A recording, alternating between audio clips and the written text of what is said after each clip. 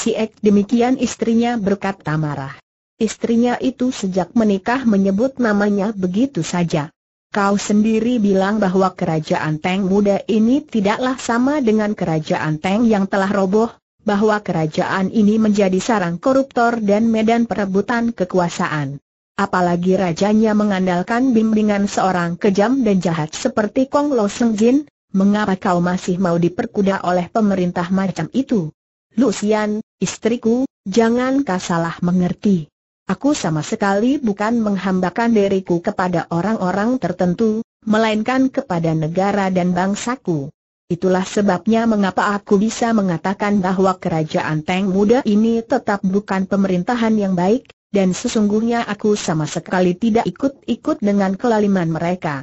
Aku bertugas menjaga keamanan di perbatasan barat untuk menghalau musuh dari luar yang hendak mengganggu wilayah kita, bertugas mengamankan keadaan daerah ini dari gangguan orang-orang jahat. Apa bedanya Lucian panas dan mukanya merah menambah kecantikannya? Kau kurung dirimu dengan tugas, dan kau kurung diriku pula dengan kekukuhanmu. Si Ek, kenapa kau tidak mau menerima permintaanku? Ah, Kiranya cintamu terhadapku sudah mulai luntur Lucian bersungut-sungut, akan tetapi dia tidak menangis, tidak seperti kebiasaan kaum wanita kalau bertengkar. Lucian, mengapakah selalu berpemandangan sempit terhadap hubungan suami istri? Ketahuilah, istriku. Cinta kasih antar suami istri haruslah lebih masak, tidak seperti cinta kasih muda-mudi yang belum terikat oleh pernikahan. Cinta muda-mudi masih mentah, hanya terdorong rasa saling suka dan mabuk oleh daya tarik masing-masing. Akan tetapi, cinta kasih suami istri lebih mendalam, lebih matang dan libat melibat dengan kewajiban, saling berkorban dan mengurangi pementingan diri sendiri. Sekarang ini, aku menjalankan kewajibanku sebagai suami dan ayah, juga sebagai seorang patriot, kau tinggal di sisiku melaksanakan kewajiban sebagai istri dan ibu, apalagi kekurangannya. Kalau kau ajak aku dan anak kita pergi merantau, bukankah itu berarti kita sama-sama melarikan diri daripada kewajiban? Bagaimana pula dengan pendidikan Busong? Kau tahu sendiri, anak kita itu maju sekali dalam ilmu surat. Lucian menggebrak meja dengan tangannya sehingga ujung meja tebal itu menjadi somplak. Cukup. Bosan aku mendengar kuliahmu.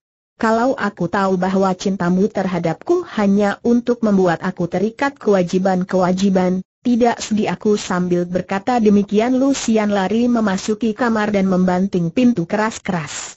Kam Si Ek berdiri tercengang dan terpaku memandang meja, berulang kali menarik napas panjang.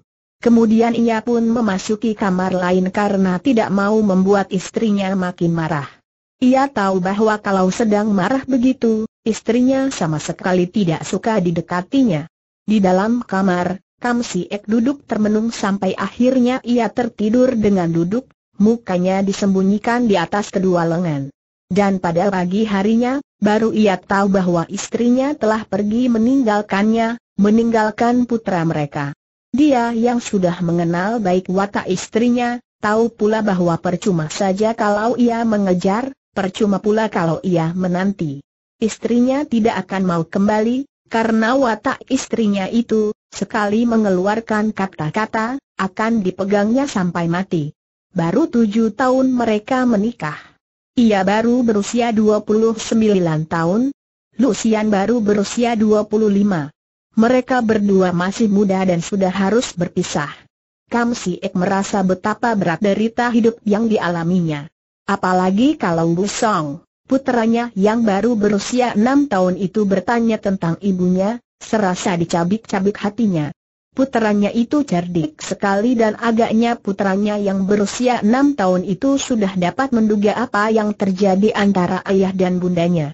Apakah ibu nakal dan ayah mengusirnya? Apakah kesalahan ibu berkali-kali Bu Song bertanya, dan selalu Kam Si Ek menjawab bahwa ibunya sedang pergi ke selatan, menengok kakeknya yang sedang menjadi ketua bengkau di Nancau. Busong tidak menangis, hanya menyatakan heran dan tidak percaya mengapa ibunya pergi begitu saja tanpa pamit kepadanya, pergi tidak mengajak ayahnya ataupun dia. Ketika anak itu mendesak-desaknya, Kam Si Ik yang sedang pusing dan duka itu membentaknya dengan keras.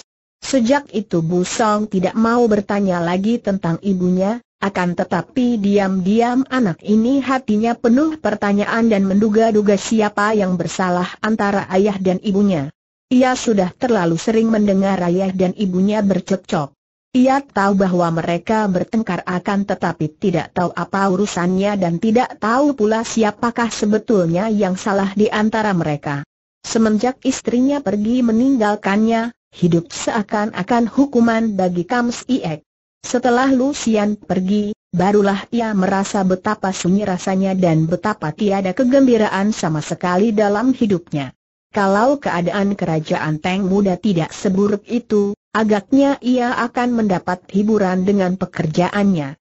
Akan tetapi keadaan kerajaan Teng Muda ini benar-benar seperti yang digambarkan Lucian dalam pertengkaran mereka. Memang betul bahwa kerajaan Liang yang merobohkan dinasti Teng itu dapat dihancurkan dan dapat pula didirikan kerajaan Teng Muda dengan pimpinan para keturunan keluarga Raja Teng, namun keadaannya sudah amat buruk dan rusak. Pimpinan muda itu hanya sekelompok orang-orang yang mengumbar nafsu, orang-orang yang mengejar kesenangan belaka, mengejar kedudukan dan kemuliaan. Setelah memperoleh kedudukan dan kemuliaan, orang-orang yang tadinya menjadi pejuang gagah berani menjadi lupa sama sekali akan tujuan perjuangan mereka. Setiap orang pejuang tadinya bercita-cita menghalau penindas, menghalau kelaliman demi kesejahteraan rakyat jelata, demi nusa dan bangsa. Akan tetapi, begitu para pejuang ini merasakan kenikmatan daripada kedudukan dan kemuliaan, mabuklah mereka dan lupalah mereka akan cita-cita luhur itu. Masa bodoh rakyat yang melarat tertindas. Masa bodoh orang lain. Aku yang berjuang mati-matian. Aku yang bertaruh nyawa. Aku pula yang harus senang. Mengapa memikirkan orang lain? Begitulah kira-kira bantahan dan sanggahan mereka apabila sewaktu-waktu suara hati pejuang menuntut mereka di dalam hati sanubari. Namun di dunia ini tiada yang kekal. Kesenangan tidak, kedudukan pun tidak. Semua pasti berakhir, kesenangan dan kesusahan silih berganti mengisi hidup. Semua serba berputar.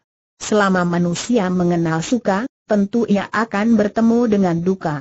Siapa yang mengabdi kepada duka, pasti sekali waktu akan diperbudak suka.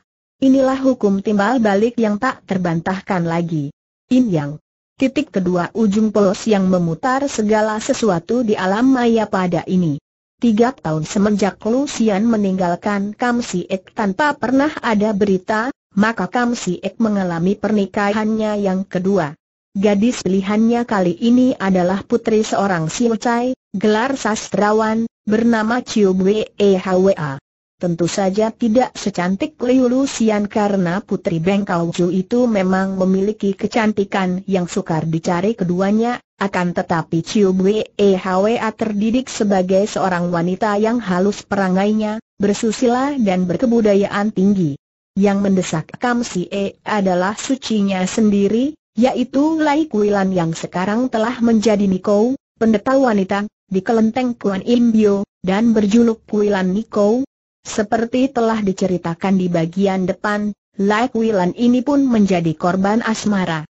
Ia jatuh hati kepada Kue Eseng, kemudian patah hati melihat Kue Eseng terjungkal di dalam jurang yang pasti akan membawa maut bagi pendekar itu.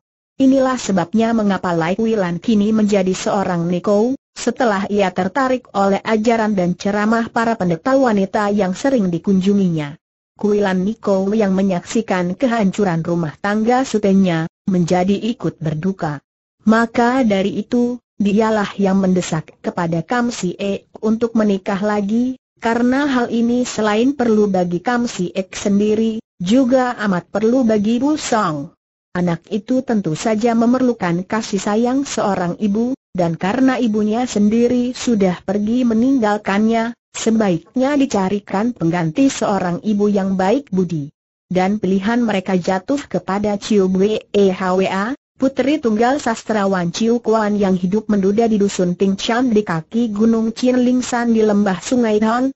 upacara pernikahan antara Kam Siek dengan Chiu Bwe Hwa, dilangsungkan secara sederhana sekali. Namun karena Kam Siek adalah seorang jenderal muda yang terkenal dan disegani, maka tetap saja menjadi meriah dengan datangnya para pembesar dan orang-orang ternama. Akan tetapi, setelah perayaan pesta pernikahan itu selesai, muncullah peristiwa-peristiwa yang membuat hati Kam Si Ek lebih menderita lagi. Tepat pada malam pernikahannya, ketika para tamu sudah pulang, di waktu malam sunyi dan kedua mempelai sudah memasuki kamar pengantin, tiba-tiba jendela kamar itu diketuk orang dari luar dan ada suara membentak, Kam Si Ek, kalau kau benar laki-laki, keluarlah. Mendengar suara ini, Ciu Bwe Hwa menjadi pucat dan mempelai wanita ini memegang lengan suaminya sambil berkata dengan suaranya gemetar, harap jangan layani orang itu. Tentu saja Kam Si Ek menjadi curiga. Sebagai seorang laki-laki yang gagah perkasa, mana mungkin ia tidak melayani orang yang menantangnya seperti itu? Ia memandang tajam wajah istrinya, lalu bertanya, mengapa? Siapa dia dalam suaranya jelas terkandung kecurigaan dan penasaran. Tiba-tiba Ciu Bwe menangis sedih. Lalu terisak-isak berkata, dia, dia, itu Giam Swilok, orang sekampung denganku. Dia, seorang jago silat muda di kampung kami, dan dia pernah melamarku akan tetapi, ditolak oleh ayah. Biarpun dia seorang pendekar yang terkenal baik, namun ayah tidak suka, karena dia buta huruf. Ah, dia telah bersumpah hendak menjadi suamiku dan kalau aku menikah dengan orang lain, maka dia akan memusuhi suamiku. Harap kau suka menaruh kasihan, dan jangan melayaninya. Kam Si Ek mengerutkan keningnya. Mana ada aturan begini? Biarpun disebut pendekar oleh istrinya, jelas bahwa pemuda itu seorang yang tidak tahu aturan. Setelah ditolak lamarannya, bagaimana berani bersumpah hendak memusuhi siapa pun yang menjadi suami BEHWA? Dan kalau dia tidak mau melayaninya, bukankah ia akan disangka pengecut dan penakut? Kau bilanglah terus terang, apakah sebabnya kau melarangku melayaninya? Apakah kau suka kepadanya? BEHWA masih menangis ketika ia menjatuhkan dirinya berlutut di depan suaminya. Bagaimana kau bisa bilang begitu? Ahaha, bukankah aku sudah menjadi istrimu? Jiwa ragaku ku serahkan kepadamu, bagaimana pikiranku dapat mengingat laki-laki lain? Suamiku, aku memohon kau tidak melayaninya, karena aku tidak ingin kalian bertempur, kemudian seorang di antara kalian terluka atau terbunuh. Kau suamiku, tentu saja aku berpihak kepadamu, akan tetapi, dia terkenal sebagai seorang yang gagah dan baik di kampung kami, dia bukan orang jahat. Kam Si Ek mengangkat bangun istrinya dan memeluknya. Jangan kau khawatir, aku akan menasehatinya. Kalau tidak terpaksa, aku takkan bertanding dengannya. Kembali daun jendela diketuk dari luar. Kam Si Ek, aku Gam Swilok dari Chin Ling San. Ada urusan di antara kita berdua yang harus diselesaikan sekarang juga. Apakah kau benar-benar tidak berani keluar? Hem, kau tunggulah Kam Si E lalu melepaskan istrinya, menyambar senjatanya dan membuka daun jendela, terus melompat keluar. Di pekarangan belakang rumah, tempat yang sunyi, di bawah sinar bulan purnama, ia melihat seorang laki-laki muda yang bertubuh tinggi besar dan bermuka hitam. Sinar mata orang itu muram, akan tetapi wajahnya membayangkan kegagahan dan kejujuran. Biarpun merasa tak senang melihat orang ini begitu tidak tahu aturan, namun sedikitnya Kam Si Ek kagum akan keberanian dan kejujurannya. Orang segiam, baru saja istriku bercerita tentang dirimu. Kau seorang laki-laki, bagaimana begini tak tahu aturan dan tak tahu malu? Dia sudah menjadi istri orang, mengapa kau masih saja mengejar-ngejar? Apakah di dunia ini hanya ada dia seorang wanita? Perbuatanmu datang malam ini, benar-benar merupakan penghinaan bagiku. Akan tetapi mengingat bahwa kau bertindak karena kebodohanmu, aku mau maafkan dan harap kau segera pergi dari sini, jangan memperlihatkan diri lagi. Perkara ini habis sampai di sini saja. Giam Swilok mengertak gigi dan berkata, suaranya lantang penuh kegeraman hati, Kam Si enak saja kau bicara. Semenjak kecil aku mengenal BEHWA. Belasan tahun aku melihatnya, aku mimpikan dia, dan ayahnya menolak lamaranku karena aku seorang miskin dan bodoh. Karena itu aku sudah tak dapat hidup lagi kalau tidak dapat berjodoh dengan Ciu BEHWA. Aku sudah bersumpah akan mati di ujung senjata siapa yang menjadi suaminya, atau membunuh suami itu. Sekarang dia menjadi istrimu. Nah, mari kita selesaikan persoalan ini. Kau harus mati di tanganku atau aku yang akan mampus di tanganmu untuk mengakhiri penderitaan batin ini sambil berkata demikian, Giam Swilok mencabut goloknya. Kam Si Ek menjadi marah. Kau benar-benar seorang yang berwatak berandalan dan tidak menggunakan aturan. Tak perlu banyak cakap.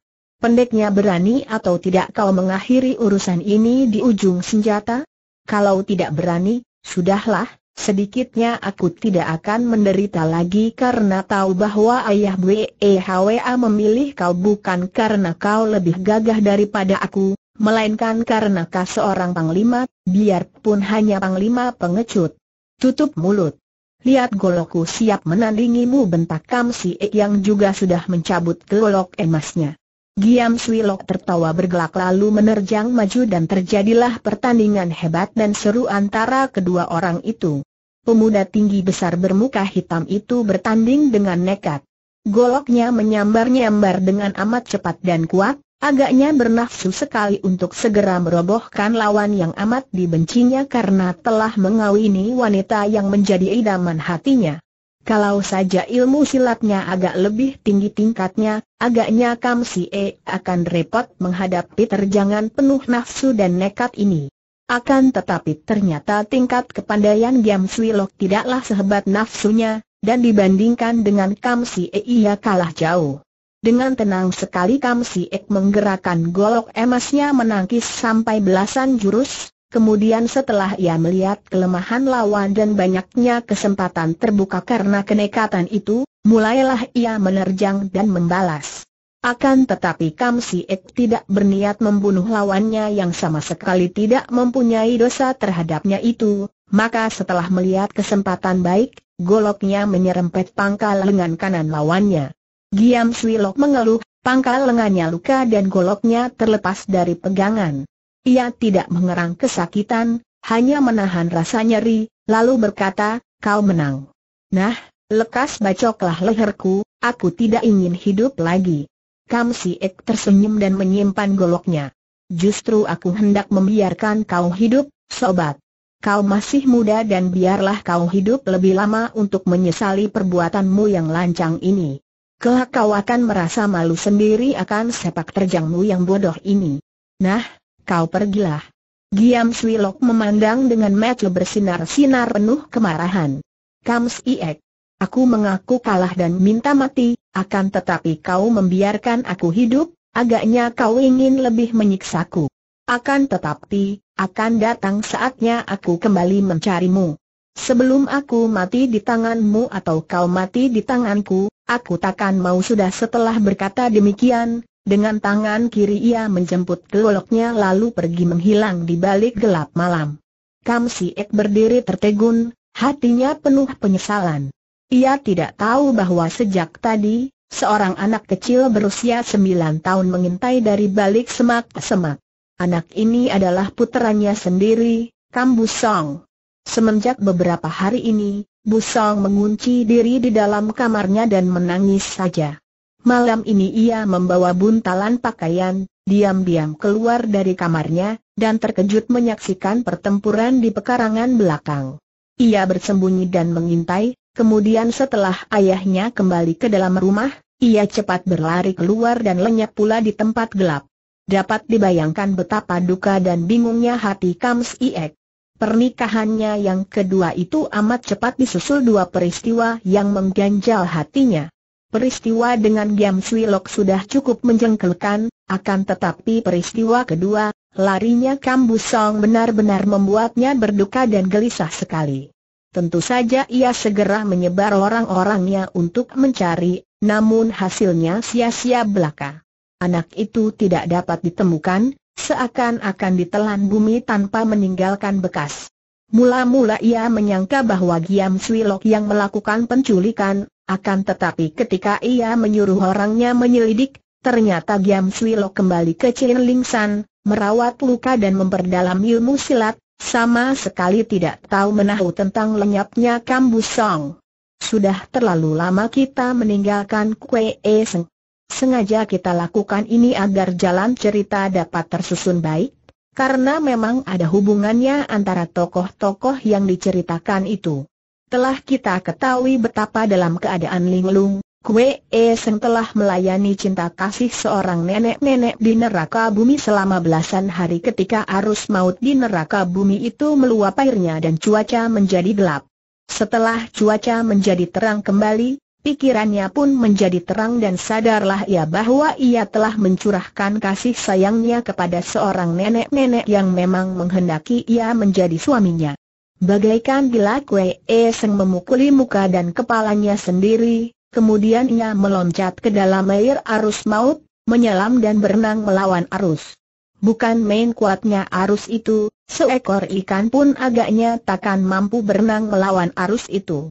Akan tetapi selama tiga tahun berdiam di dalam neraka bumi, Kwe E Seng telah memperoleh kemajuan yang luar biasa. Berkat latihan semedi menurut ajaran kitab semedi, tenaga luakangnya meningkat hebat beberapa kali lipat, Sedangkan ilmu silatnya juga tanpa ia sadari telah menjadi hebat luar biasa setelah ia memahami kitab ilmu perbintangan. Kini menghadapi terjangan arus yang demikian ganasnya, Kue E Seng dapat mempergunakan luakangnya, menyelam dan berenang sepenuh tenaga sambil menahan napas. Beberapa kali ia terpukul kembali, namun dengan gigih Kue E Seng maju terus. Benturan-benturan dengan batu ketika ia dihempaskan arus maut, tidak terasa oleh tubuhnya yang sudah menjadi kuat dan kebal. Kadang-kadang ia muncul di permukaan air untuk mengambil napas, lalu menyelam kembali dan bergerak maju terus. Bukan main hebatnya perjuangan melawan arus maut ini. Perjuangan mati-matian dan ia tidak tahu bahwa andai kata tiga tahun yang lalu ia harus melakukan perjuangan macam ini, tentu ia akan tewas. Akhirnya ia dapat keluar dari dalam terowongan dan ketika ia muncul di permukaan air, ia melihat langit menyinarkan cahaya terang benderang, membuat matanya silau karena sudah terlalu lama ia tinggal di tempat agak gelap. Biarpun sudah keluar dari terowongan arus maut, namun sungai yang diterjangnya ini diapit-apit dinding batu karang yang amat tinggi. Ia berenang terus dan akhirnya, sejam kemudian, ia melihat dinding yang biarpun masih amat tinggi dan curam, namun tidak selicin dinding yang telah ia lalui. Cepat ia berenang ke pinggir, menangkap celah dinding batu karang dan mengangkat tubuhnya ke atas. Cepat ia bersila di bawah dinding karang untuk memulihkan tenaganya dan pernapasannya. Akan tetapi, setelah tenaganya pulih, ia teringat akan perbuatannya dengan nenek itu dan, tiba-tiba Kue E Seng menangis, lalu menampari pipinya beberapa kali sampai kedua pipinya bengkak-bengkak matang biru. Sebentar kemudian ia tertawa-tawa, suara ketawanya bergema di sepanjang sungai yang diapit dinding karang. Kemudian ia merayap naik melalui dinding yang tidak rata, menggunakan tangan kirinya menangkap dan menginjak celah-celah karang. Cepat sekali gerakannya, seperti seekor monyet saja. Tak sampai seperempat jam, ia telah berada di atas tanah datar, di lembah sungai di lereng Bukit Liong Kui San. Tak jauh di sebelah depan, ia melihat puncak di mana tiga tahun yang lalu ia bertanding mati-matian melawan Pet Jiusin Ong Liu Gan, di mana ia dirobohkan secara pengecut oleh jarum-jarum beracun Bayi San. Hahaha tiba-tiba Kue E Seng tertawa bergelak sambil berdiri tegak dengan kedua kaki terpentang lebar. Rambutnya riap-riapan karena ketika melawan arus tadi pita rambutnya hilang entah ke mana, bajunya robek-robek, kedua pipinya bengkak-bengkak, akan tetapi matanya bersinar terang biarpun mulutnya tersenyum setengah mewek seperti orang mau menangis. Masih terdengar suaranya tertawa-tawa ketika tubuhnya berloncaran dengan gerakan yang luar biasa, tidak seperti manusia lagi, melainkan lebih pantas iblis penjaga gunung sedang menari-nari. Memang patut dikasihani Kue E ini.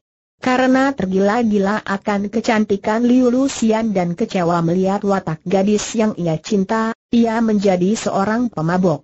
Kini setiap kali teringat kepada Lucian ia masih tertawa-tawa. Kemudian pengalamannya dengan nenek-nenek di dalam neraka bumi benar-benar telah membuat rusak pikirannya, membuat ia tak kuat lagi menahan tekanan batin, membuatnya seperti gila. Kalau teringat kepada nenek-nenek itu, ia menangis. Maka sejak saat itu kembali ke dunia ramai, tawa dan tangis silih berganti dilakukan oleh pendekar muda ini. Seorang pendekar muda yang tadinya terkenal tampan dan gagah perkasa, kini berubah menjadi seorang berpakaian compang-camping yang suka tertawa dan menangis, pendeknya berubah menjadi seorang jembel gila. Dan semua ini karena asmara. Akan tetapi, sesungguhnya Kue E Seng sama sekali tidaklah gila.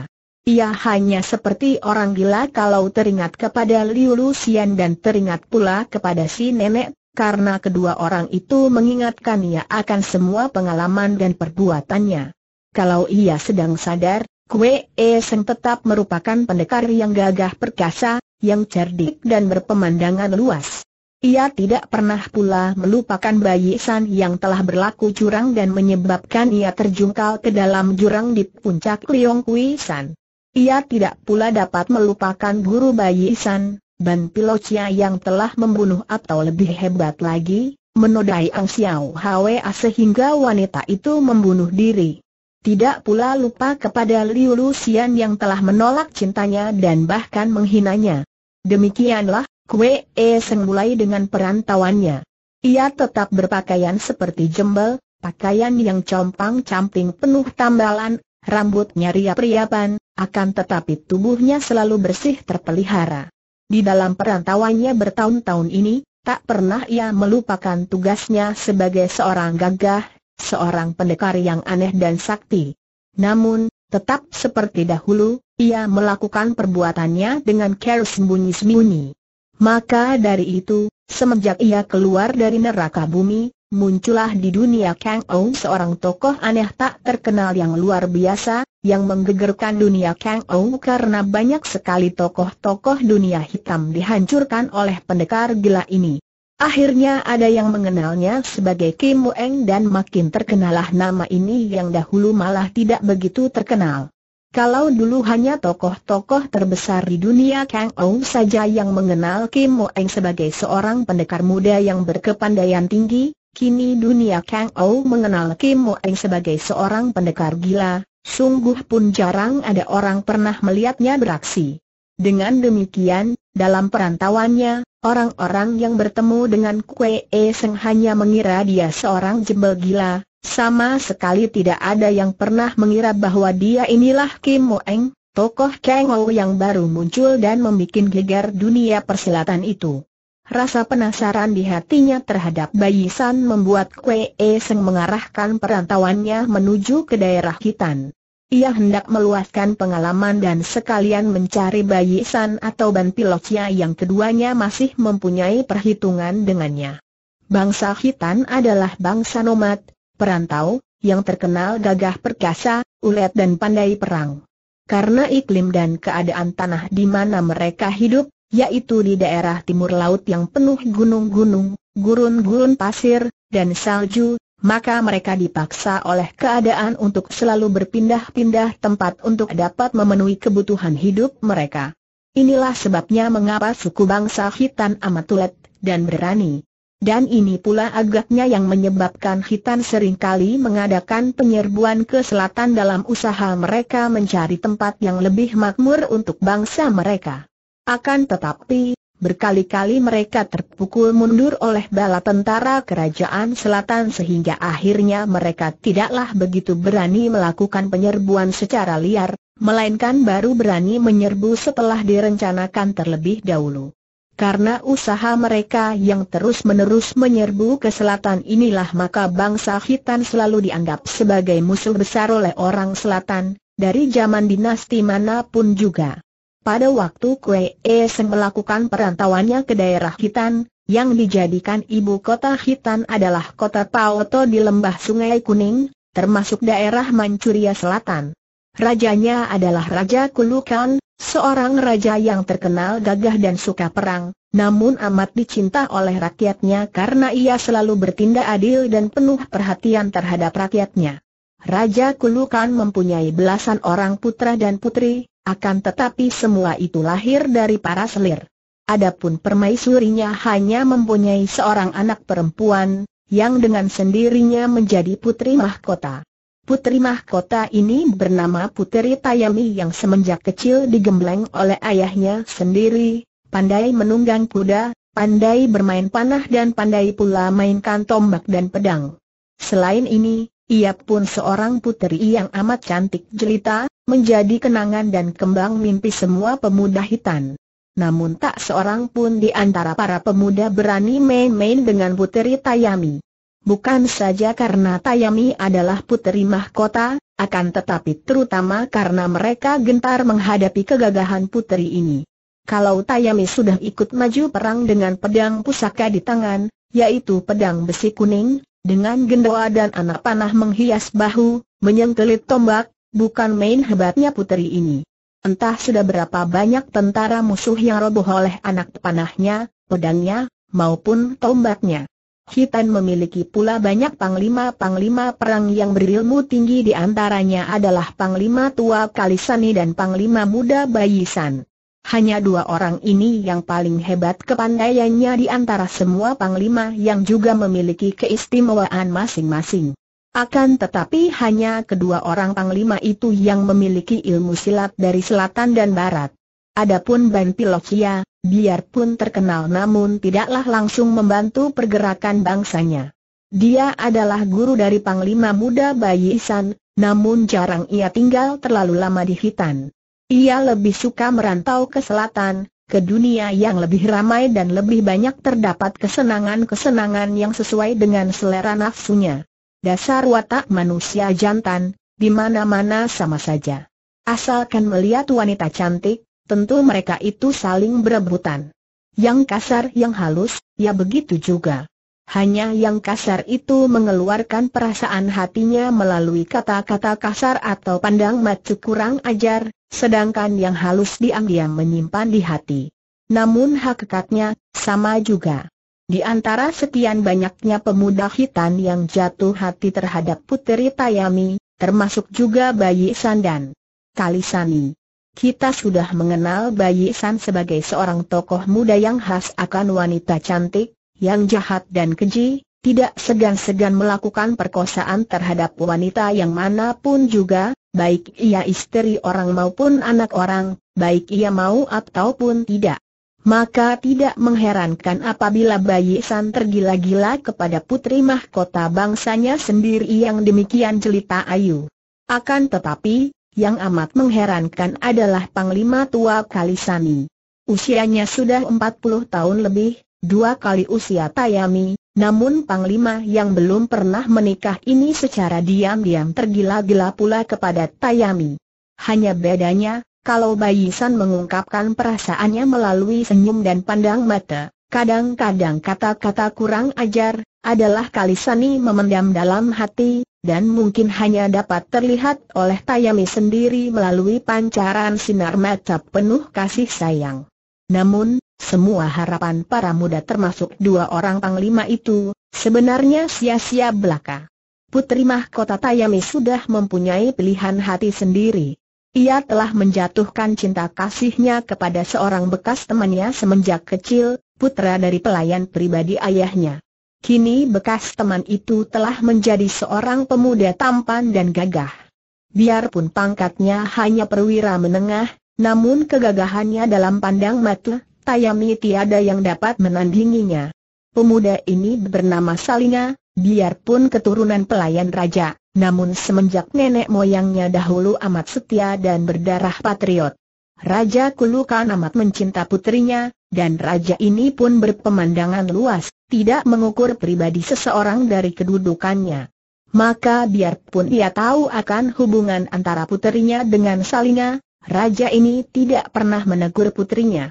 Malah ketika Bayi San mengadukan hubungan itu, ia memarahi Bayi San. Bayi San ini biarpun terkenal di luaran sebagai panglima muda, namun adalah putra Raja Kulukan juga. Putra yang lahir dari seorang wanita yang telah bersuamikan seorang pembantu raja, akan tetapi oleh suaminya seakan-akan dijual kepada raja karena mengharapkan kenaikan pangkat. Peristiwa ini terjadi ketika Raja Kulukan masih muda dan tidak kuat menghadapi godaan istri Ponggawa itu.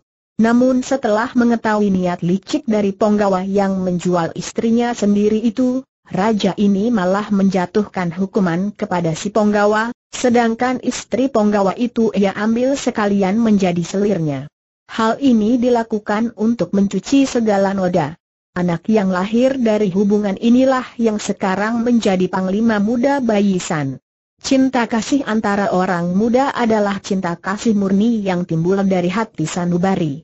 Adalah dewa yang menjodohkan, bagaimana kita manusia hendak merusaknya, Bayi San. Kalau adikmu Tayami memang saling mencinta dengan Salinga, biarlah. Salinga seorang pemuda baik, apa salahnya? Akan tetapi, Sri Baginda, Adinda Tayami adalah seorang puteri mahkota, sedangkan Salinga, seorang prajurit biasa. Hem, dia seorang perwira. Apa artinya? Seorang putri mahkota jodohnya adalah pangeran, atau yang setingkat. Hahaha, Bayisan. Alangkah sempit pandanganmu. Siapakah yang membuat hati dan menimbulkan cinta? Hanya para dewa yang tahu. Siapa sekarang yang membuat segala macam pangkat dan kedudukan? Hanya manusia. Apa sukarnya kalau sekarang aku mengangkat Salinga menjadi pangeran atau penggawa yang tinggi kedudukannya? Mudah saja, bukan?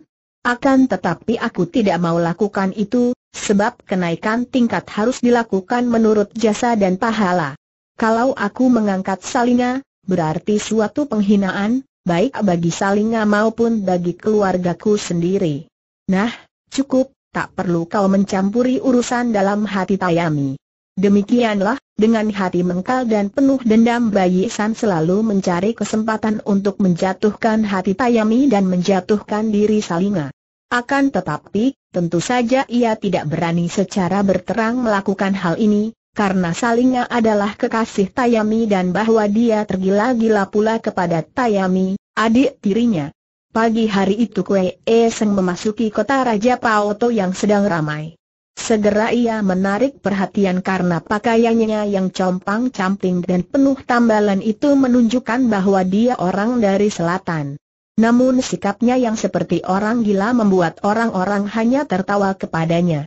Memang pada waktu itu banyak sekali orang hitam sudah berpakaian seperti orang Han, dengan pakaian yang dapat mereka rampas kalau mereka menyerbu ke selatan, atau pakaian yang mereka tukar dengan kulit dan bulu domba. Banyak juga pedagang-pedagang dari selatan sampai hitam, mempertaruhkan keselamatan nyawanya. Bagi para pedagang, di mana ada untung ke sana ia pergi, tak peduli di sana terdapat bahaya menantang. Keramaian kota Raja Paoto ada sebabnya. Beberapa pekan yang lalu, di bawah pimpinan Panglima Muda Bayisan sendiri, sepasukan orang hitam menyerbu dan menghancurkan pasukan kerajaan Chin Muda yang ternyata adalah pasukan yang melarikan diri membawa barang-barang berharga hasil perampasan mereka terhadap kerajaan Teng Muda yang kalah perang. Banyak sekali barang rampasan ini, belum lagi kuda dan senjata, maka saking gembiranya Raja Kulukan lalu mengadakan pesta untuk menghormati pasukan itu. Dan sebagaimana biasanya, dalam setiap keramaian seperti itu tentu diadakan perlombaan-perlombaan ketangkasan di tepi sungai kuning. Perlombaan macam ini bukan hanya sebagai hiburan untuk menggembirakan suasana, namun ada pula maksudnya untuk mengumpulkan tenaga-tenaga muda. Tak jarang dalam kesempatan seperti ini bermunculan perwira-perwira baru yang diangkat karena kemenangannya dalam perlombaan. Kue E Seng hanyut dalam arus gelombang manusia yang menuju ke tepi sungai, ke tempat perlombaan. Kue E Seng ikut berlari-lari sambil makan roti susu kambing yang tadi dibelinya dari warung dan kini digerogotinya. Lapangan di tepi sungai itu luas sekali dan memang tempat ini sengaja dibuat sedemikian rupa sehingga rata dan baik untuk tempat perlombaan ketangkasan. Hati Kwe Seng berdenyut girang ketika ia mengenal seorang di antara para perwira tinggi yang hadir di tempat itu. Seorang muda yang tinggi kurus, berpakaian panglima, bertopi indah dengan hiasan bulu, bukan lain adalah Bayi Isan, musuh lama yang dicari-carinya. Matanya tetap mencari-cari dan ia agak kecewa tidak melihat Ban Pilocia di tempat itu. Di panggung yang sengaja dibuat, duduklah Raja Hitan, ditemani Bayi Isan, Kalisani, dan belasan orang panglima tinggi lainnya. Di samping raja ini duduk pula seorang gadis yang cantik jelita, pakaiannya serba hijau, pedang yang bergagang indah tergantung di belakang punggung. Inilah putri mahkota Tayami. Kue E Seng juga dapat menduganya karena sering kali ia mendengar nama putri ini disanjung-sanjung orang dalam perjalanannya di daerah Hitan.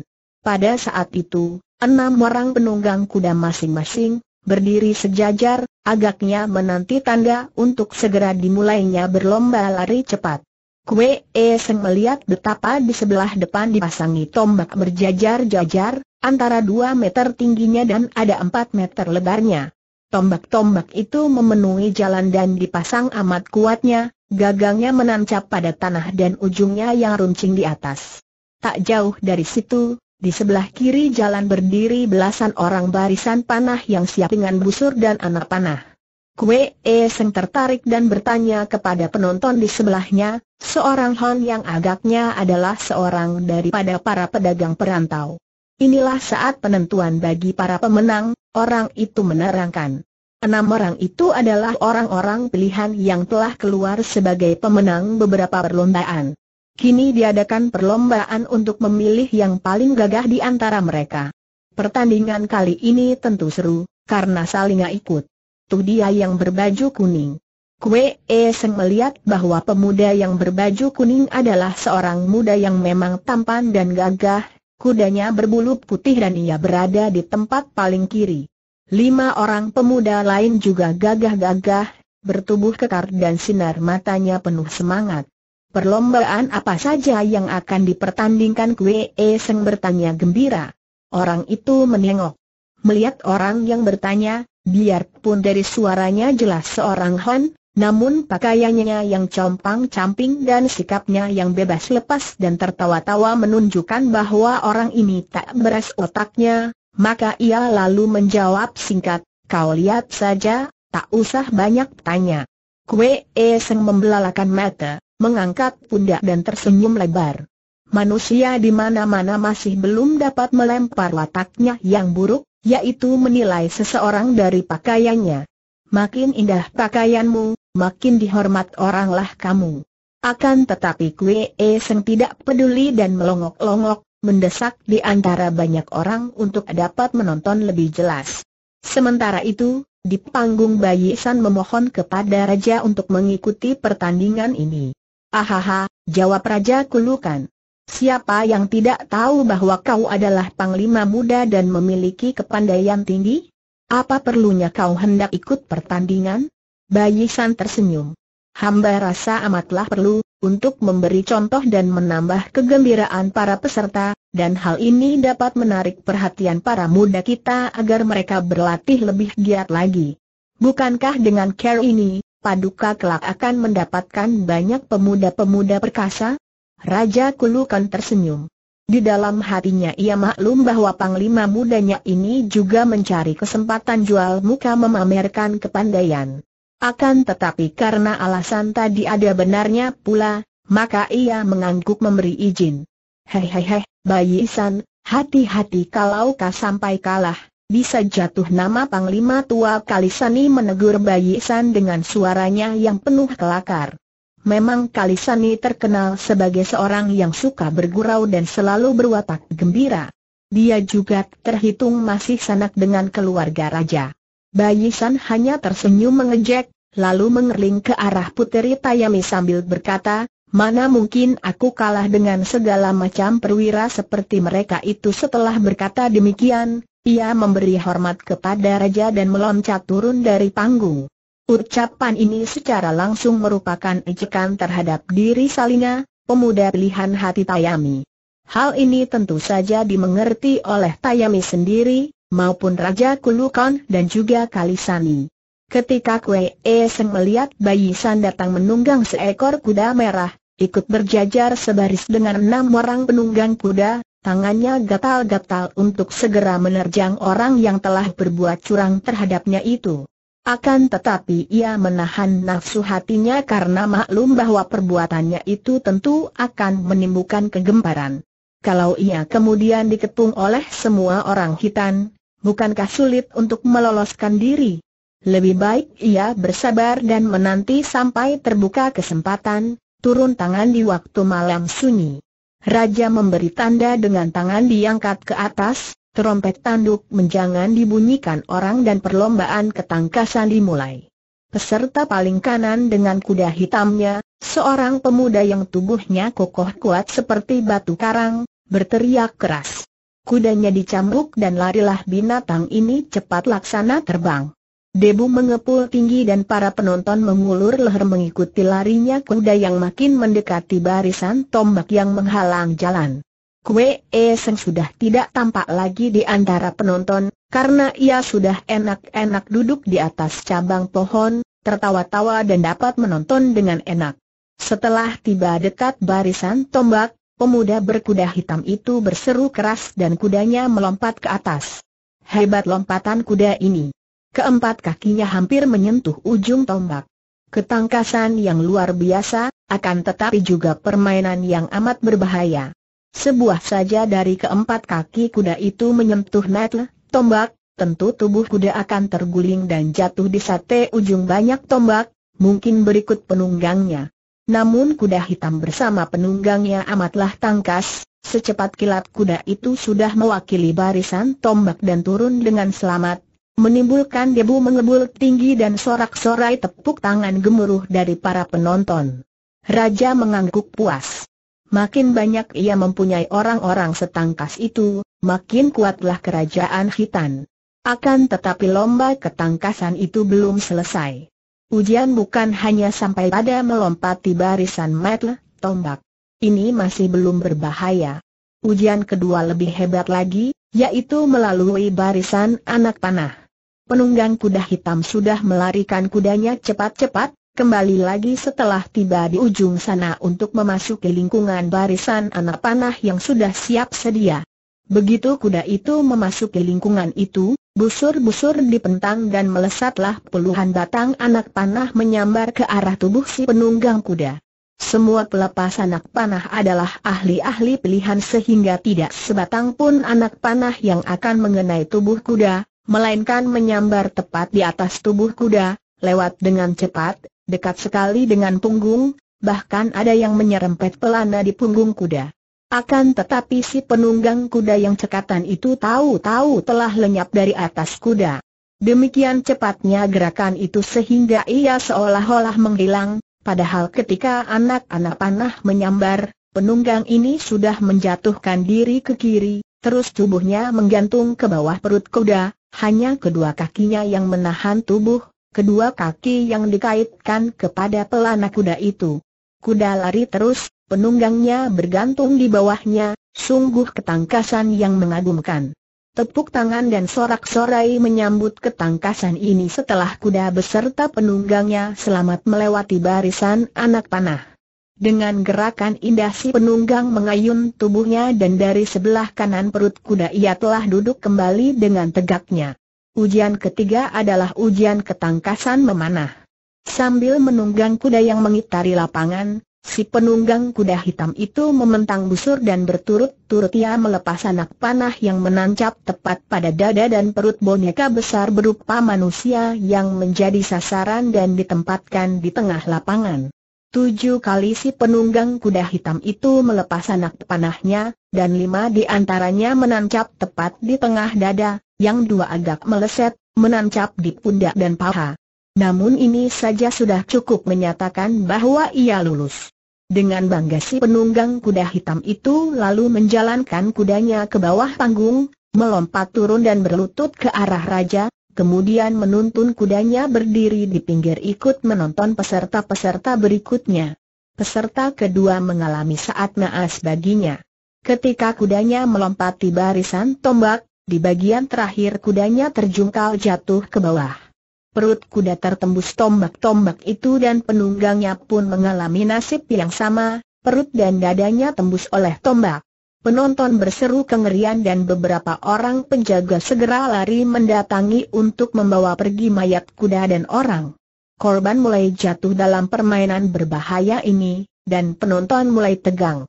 Peserta ketiga selamat melampaui barisan tombak, dan ketika melampaui barisan anak panah, kurang cepat ia bersembunyi sehingga pundak dan pahanya terserempet anak panah. Ketika ia memanah orang-orangan dalam keadaan luka ringan ini, di antara tujuh batang anak panahnya, hanya dua yang mengenai sasaran, maka tentu saja ia pun dinyatakan gagal. Peserta keempat hanya berhasil melampaui barisan tombak. Ia terjungkal roboh dengan anak panah menancap di perut dan lehernya. Kembali ada korban yang kehilangan nyawanya dalam lomba ketangkasan ini. Namun para penonton tidak lagi menjadi ngeri. Bahkan menjadi makin tegang, karena sekarang ternyata oleh mereka betapa sukarnya olah ketangkasan yang diperlombakan ini. Peserta kelima mukanya sudah pucat melihat betapa rekan-rekannya gagal, bahkan ada yang tewas. Semua orang memandang penuh ketegangan ketika pemuda itu membentak kudanya agar mulai lari membalap. Peserta kelima ini tubuhnya jangkung kurus namun bahunya bidang dan lengannya kelihatan kuat.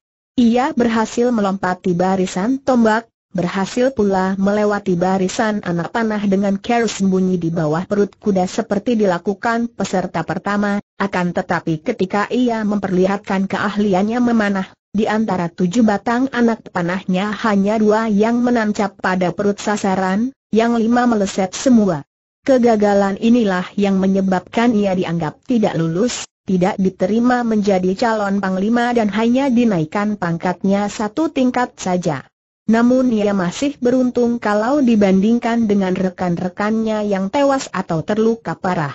Tibalah kini giliran Salinga.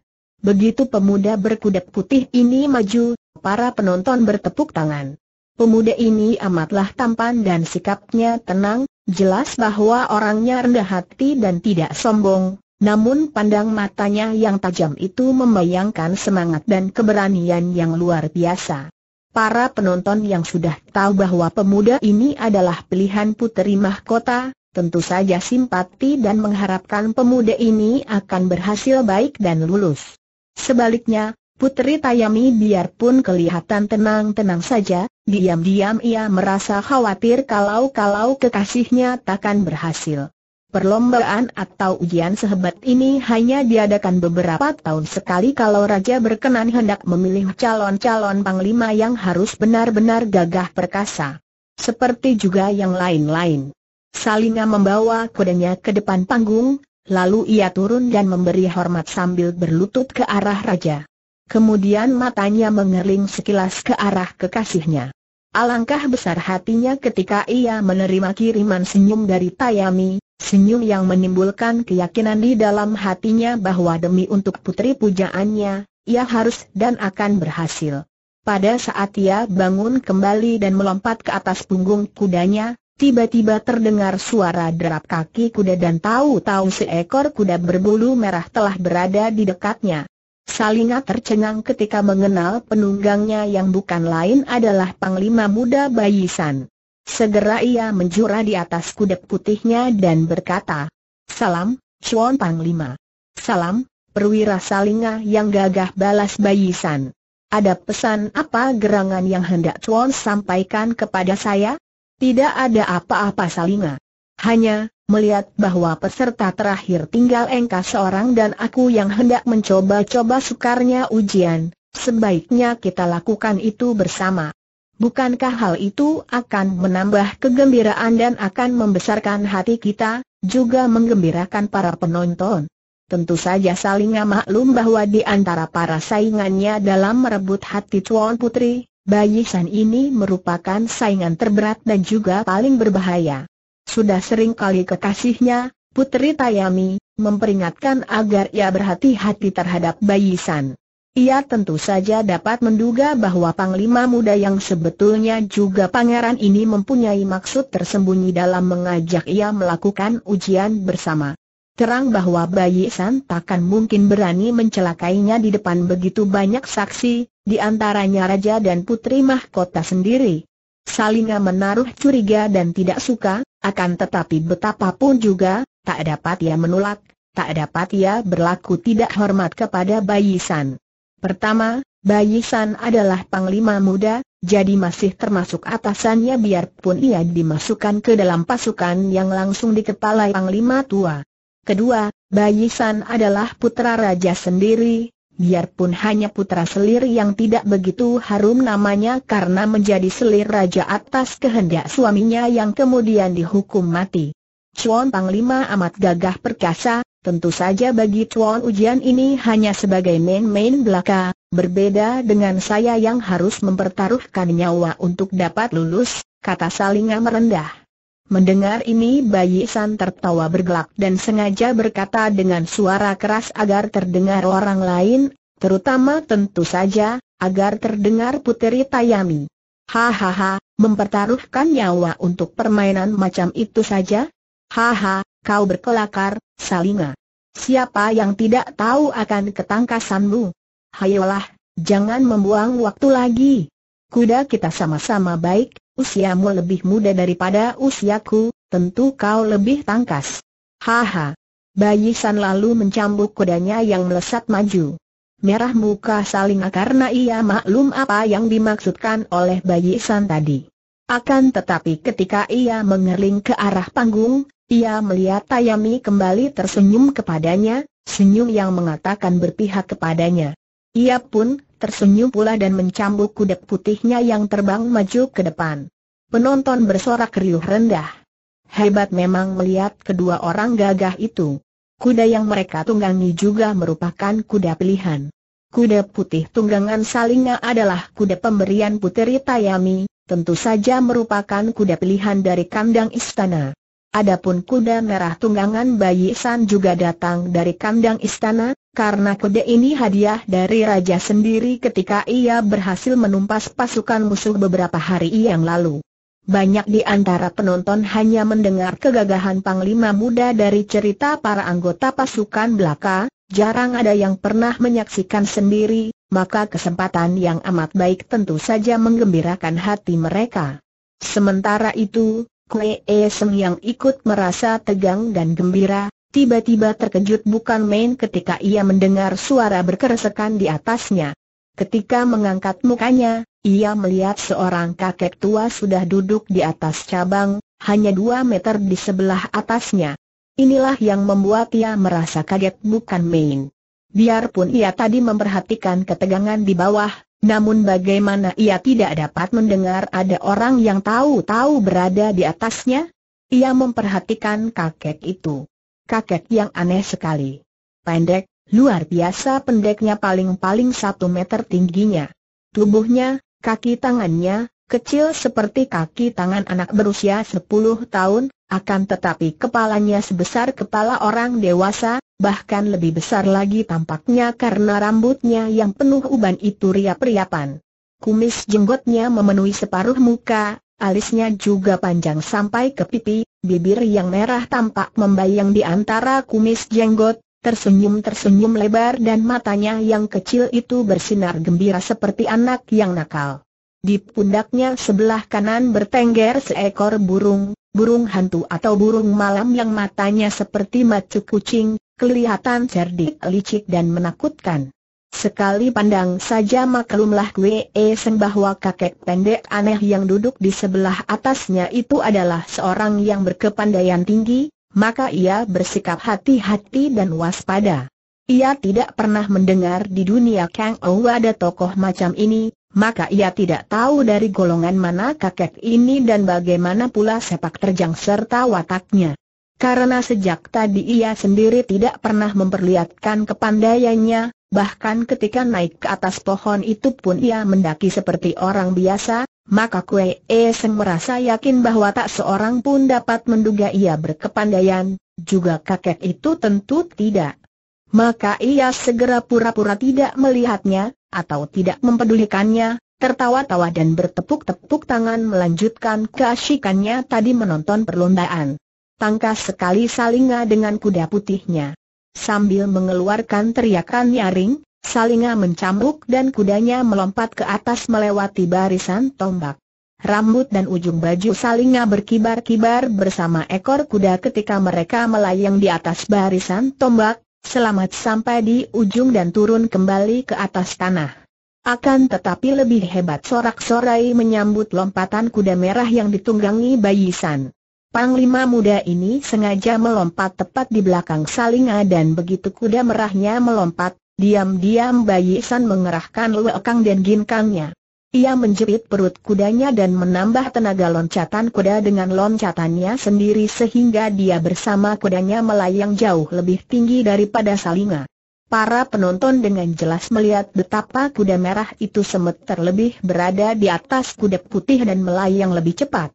Kalau saja Bayi San menghendaki, bisa saja ia menurunkan kuda merahnya tepat di atas salinga sehingga pemuda itu dengan kuda putihnya akan celaka.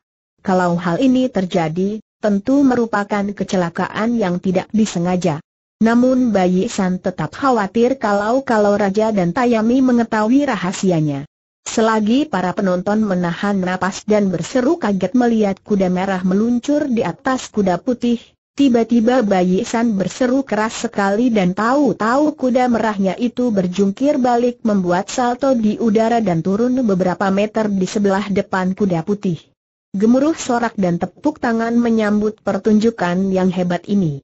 Bahkan Kue E Seng sendiri yang ikut bertepuk tangan, diam-diam terkejut dan kagum menyaksikan kelihayan Bayi San. Ia tahu bagaimana caranya Bayi San melakukan semua itu, dan inilah pula yang menyebabkan ia kagum karena tokoh hitan itu ternyata amat maju dalam lekang dan ginkangnya.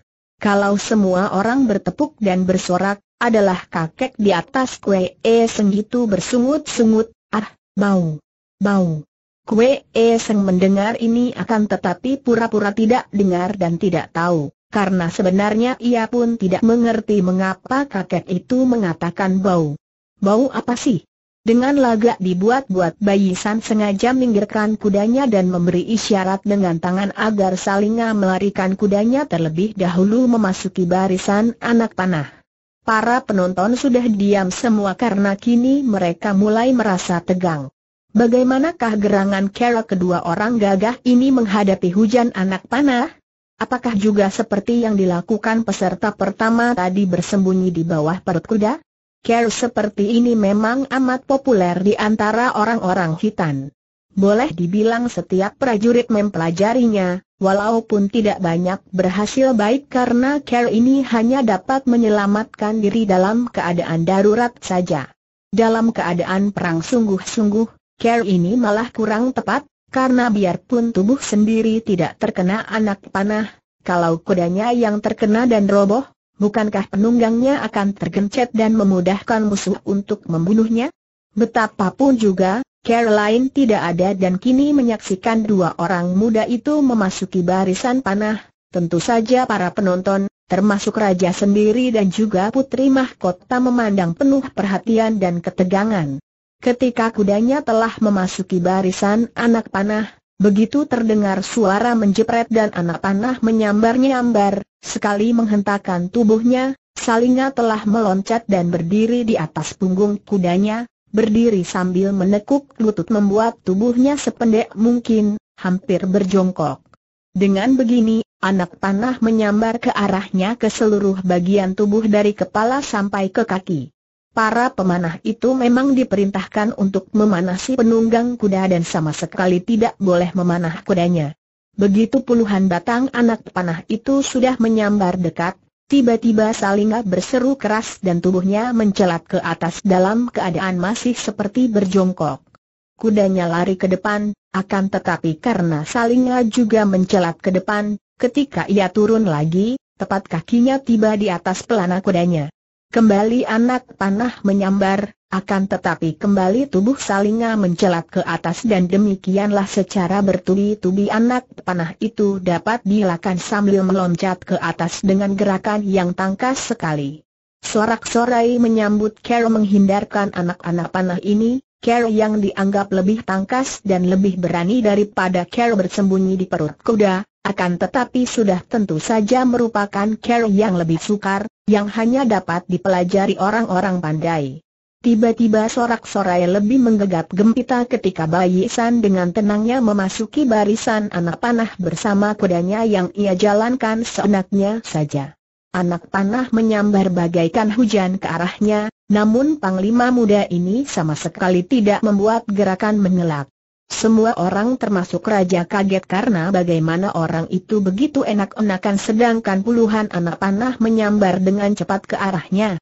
Akan tetapi tiba-tiba Bayi San menggunakan cambuk di tangan kanan yang diputar-putar cepat sekali, menangkis semua anak panah yang runtuh ke kanan kiri begitu terkena sambaran cambuk yang diputar. Tangan kirinya juga ikut membantu, begitu lengan baju yang kiri menyampok, anak panah menyeleweng atau terpental. Kembali Kwe Seng diam-diam memuji. Kiranya Bayi San sudah banyak maju kalau dibandingkan dengan beberapa tahun yang lalu. Ah, bau. Pengik dan kecut.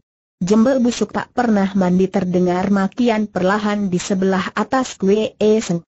Mendengar makian ini, Kue Seng mengerutkan kening. Kurang ajar, pikirnya. Kiranya yang dimaki bau tengik dan kecut adalah dia.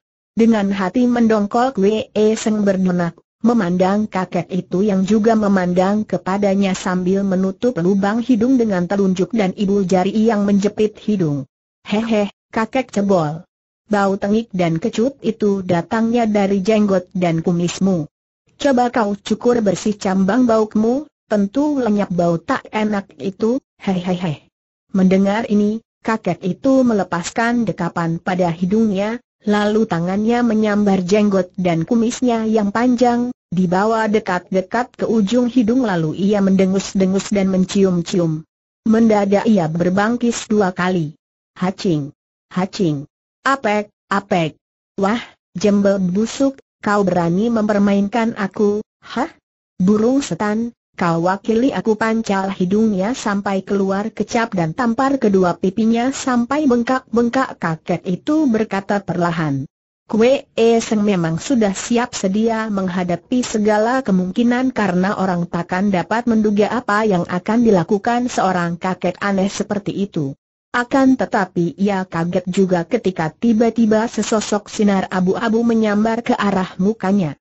Kiranya burung hantu itu telah menyerang dengan gerakan terbang yang sama sekali tidak menimbulkan bunyi, tahu-tahu burung itu telah menggunakan paruhnya untuk mematuk hidungnya, disusul tamparan dengan kedua sayap burung itu ke arah kedua pipinya.